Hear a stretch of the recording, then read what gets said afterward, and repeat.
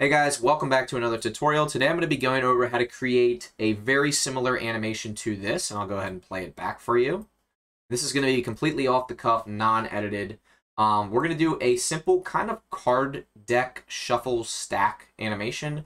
You can call it whatever you want. Um, it's actually pretty simple to create. I'm going to try to keep this under 10 minutes if I can.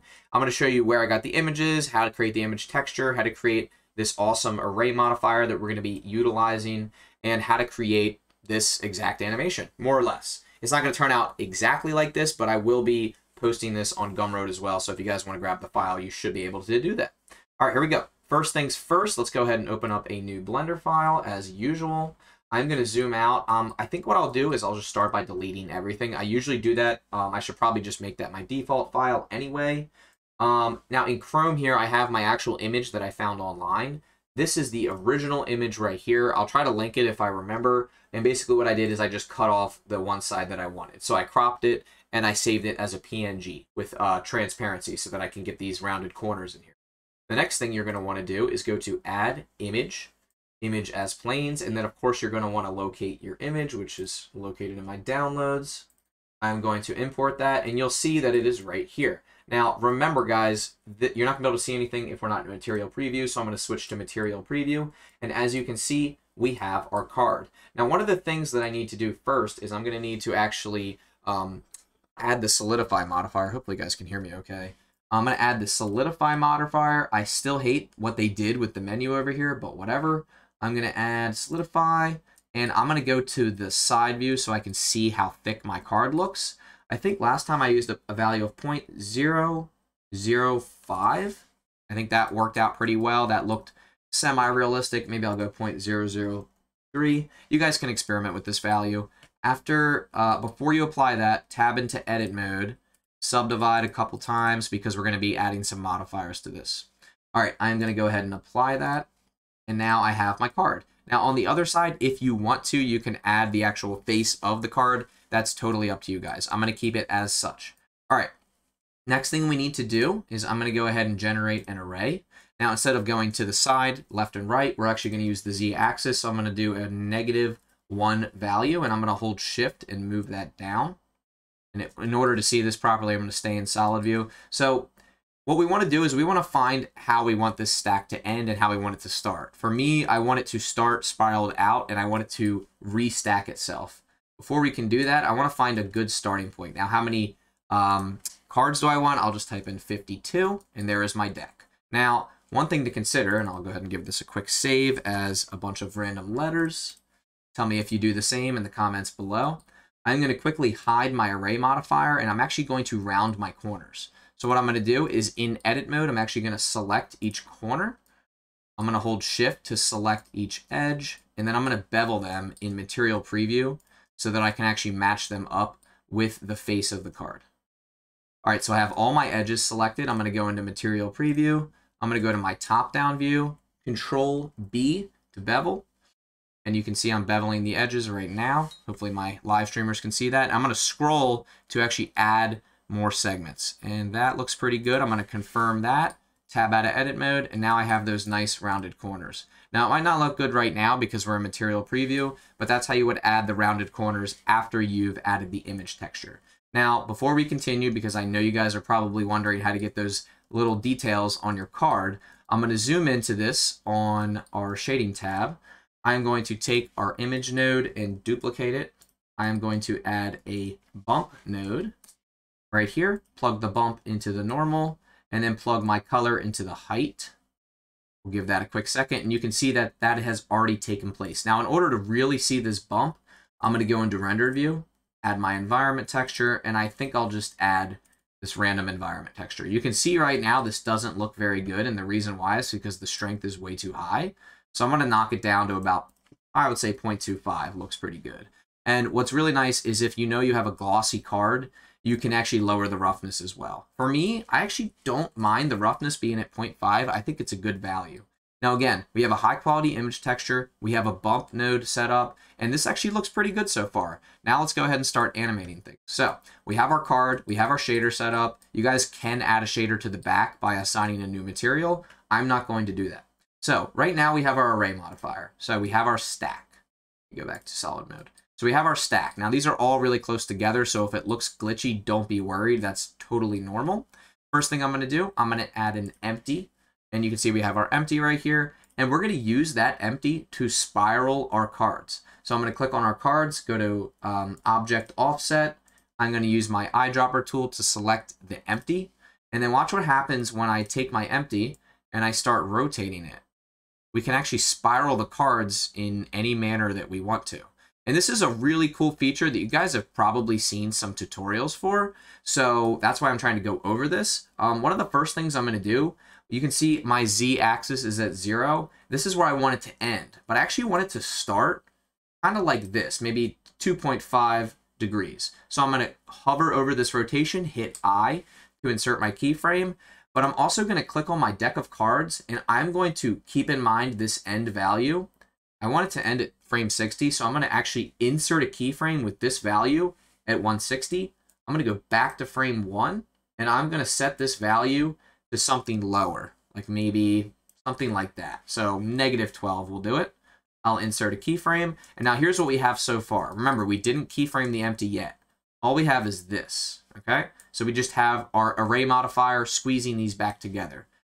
What we have to do is go to frame 60 with our empty selected, reset the rotation to zero, insert a keyframe, and now when we back up, and I'll go into rendered mode so you can see this, when we back up and we play, you can see that the, um, the deck of cards will restack itself.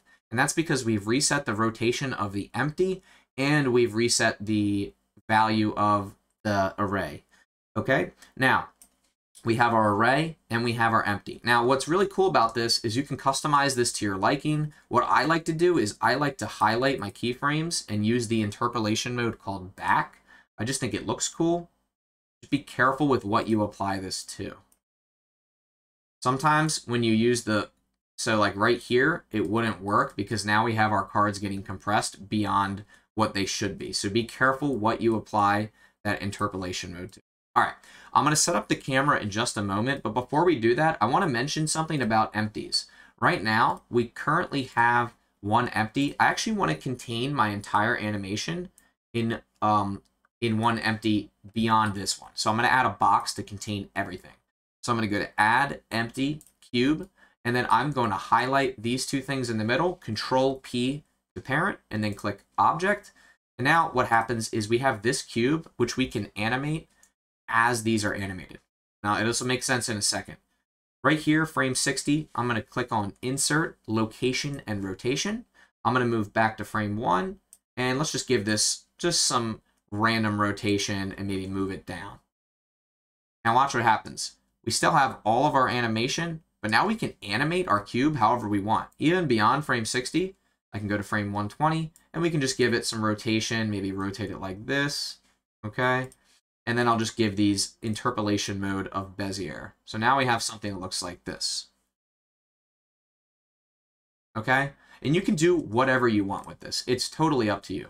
All right, let's set up our scene. So I'm going to go ahead and add in a mesh plane, and this is going to be our background. This doesn't have to be more than a principled BSDF, so I'll just give it a new shader. I'll make it base color of white, and I'll keep the roughness pretty high. Next thing we're going to do is add in our camera. Okay, we have our camera right here. I'm going to place our camera up here. I'm going to pop into my camera view and I'm going to give myself a 100 millimeter lens. And the reason I want to do that is because I want to get nice and close to my subject. Um, the lighting here is not looking very good, so I'm going to have to find a different angle for my um, camera. I think I'll put it over here on the other side and we'll see what the, the lighting looks there. Let's see what this looks like. And I want to angle this down. Um, ideally, I want to see what this stack is going to look like when it's separated. I'm going to move the floor down and scale it up. See what we have so far. This is better lighting because I'm going to add my own area light anyway. All right, one of the things I want to do is I want to separate these cards even more. So I'm going to actually adjust our original keyframe. And I'm going to adjust our original empty. I'm also going to have that actually be even more rotated. Something like that, a little bit more exaggerated. Now I'm going to go back to my camera add depth of field, I'm going to manually control the depth of field. So right now we are at uh, a distance of 10 millimeters, or sorry, 10 meters. I'm going to lower that and I'm going to lower my f-stop to 0.2. And you can see right away, we can start to see where our focal point's going to be. I'm going to raise my f-stop up to 0.1, and then I'm going to change my lens to 110.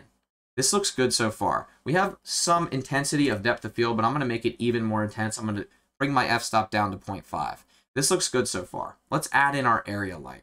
I'm going to go to add area light, click on area light, and actually that looks pretty cool. But I'm going to scale this up even more. I'm going to make the power 500, and now I'm going to put this behind my scene. Now to do this, I'm going to actually go to my split view, and I have my rendered view on the left, and on the right, I'm going to have my um, just my regular viewport view. And the reason I like to do this is so that I can easily experiment with the lighting very quickly and see my updates in real time from a different perspective. And I actually don't mind how that looks. I might keep that. So notice how the lighting can dramatically change. Let me go ahead and turn this light source off before, after. A dramatic difference. Um, and I know this is very simple, guys. It's just an area light. But a lot of people do not mess with lighting a lot. And I don't know why, because it can make or break your render. So this isn't me yelling at you or preaching, but I will say spend a little bit of extra time on your lighting. It'll make the difference. So right now we have our animation. I'm going to cut it down to 120 in our frame range. So if I play it back, it won't play on a loop, but it will play continuously over and over again. So here's what we have so far. Now, this isn't too crazy of an animation, but you can probably see how powerful the array modifier is when we use it in a certain way in whatever way we like. And even if you don't decide to do an animation with the array modifier, we still have some pretty incredible results in really no time at all. And I just want to show you guys something. I'm going to zoom in a little bit more. I'm going to give myself a lens size that isn't typical, 130 millimeters. But look what happens as I zoom in here. You can really see the fine detail in our render. And it looks really good with not that much effort. I don't even know how long I've been recording, but when I upload this to YouTube, I bet I bet you I'm still under. I've got to be under 15 minutes. Um, all right, let's go into some render settings. One of the things I like to do before I render is turn off my overlays so I can get a preview of how things are going to look. I think this looks fantastic. I think it looks professional. Um, and I really haven't even gone into details that I could. I could make this an hour long tutorial and give you a hyper realistic version of this card, but I just think this looks fine. This is doable and it's at least a, a starting point for you guys. I'm going to try to keep my tutorials a little shorter anyway. All right, render settings. Um, light paths, I typically keep these at like 20 each. Might seem like pretty excessive, but it always results in a great render. Denoising, we're going to go with OptiX max samples. Here's where I'm going to blow your mind. 50, 50 max samples. Um, dimensions, 1920 by 1920. Let's go ahead and hit render and see how long our render takes. And our render should take less than 15 seconds. Let's go ahead and see. Right now we have a, a render time of 7.36 seconds and it looks fantastic. Now, one other thing I'm going to mention, and I know you guys know what lens distortion is, I'm going to add in the compositor our lens distortion node so that we can get those sort of um, vibrant edges. And I'll show you what I mean by that. Go to your compositor, click on use nodes, separate these two nodes apart like this, Shift A and search for lens distortion. Go ahead and pop that in there and then search for viewer so that we can see our result. All right, so right now our lens distortion is set to zero. I'm gonna go with 0.1 because I want you to see what that does. Now look at the edges. You guys see those edges? We get that kind of lens distortion that you would normally get on a typical real life camera lens. I'm gonna go a little lower it adds a little touch of realism, and I think that looks pretty good. Now, let me go ahead and double my render size with 200% on the right here, and let's go ahead and render this, and let's see how quote-unquote realistic it looks. Now, I'm not saying this is the most realistic render that you'll ever get, but the level of detail that you can create in Blender if you bump up your values and you just wait a little bit longer. So this should take less than 30 seconds. But for 30 seconds, I mean, I have an incredible GPU. For 30 seconds, one frame, this is going to look fantastic. Almost